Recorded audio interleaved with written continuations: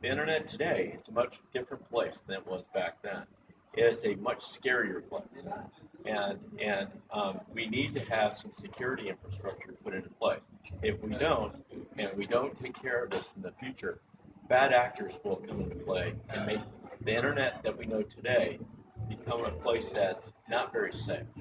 And we'd like to um, solve this issue when we can uh, be- before it becomes a real problem.